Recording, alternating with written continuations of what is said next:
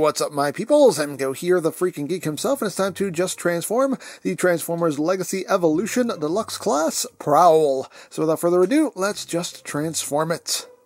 Now the first thing we're going to do is we're going to take his head and just bring it all the way back here on this panel, like that. Next thing we're going to do is bring his arms out, and then flip the hands in on either side, like so. And now we're going to rotate the waist 90 degrees. And once we've done that, this entire assembly along with these sections here are just going to swing around and swing up. And this will come up and over his head. So make sure that comes up as well. And you have that going on. Then you can take these handlebars here and just bring them down. Once you've done that, you're going to take this entire assembly and just bring it down like so. Then you're going to take the arms and bring them all the way back and they will tap together right here. Make sure everything is lined up. Tab that together and there you have the back of the motorcycle.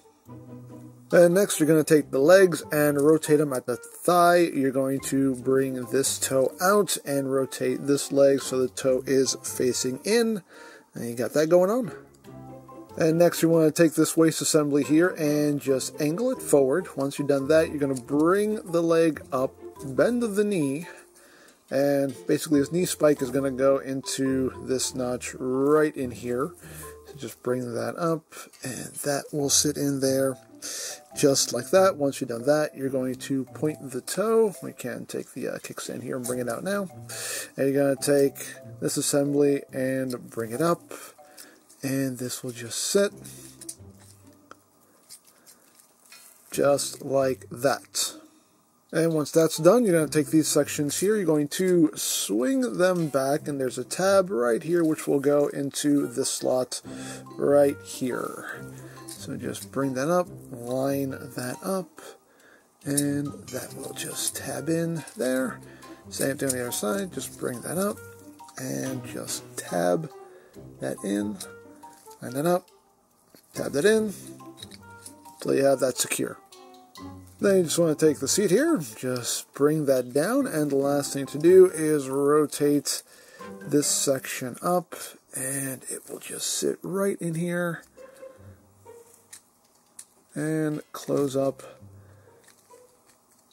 the front of the motorcycle. You just have to have it lined up just right and it will pop in. There we go. It'll just sit in there, just like that, nice and flush. And there you go. There you have Prowl in his alt mode. Then to get him back into robot mode, just going to take this whole front assembly here, just get in here,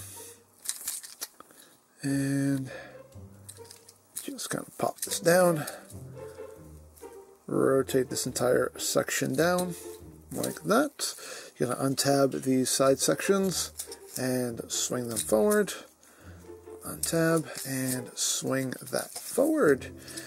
Then just bring this section of the leg down. You can flip in that kickstand, bring that foot up, bring the leg down, like so, and then just rotate the toes back so they are facing forward. Then you can just kind of angle this back down, and you have the lower body all done. Next up, just bring that seat, get it out of the way, and untab the arms.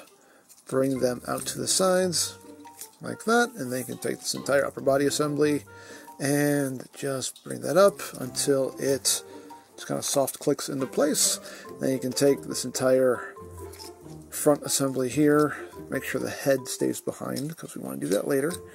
So bring all of this down, swing these sections under, like so.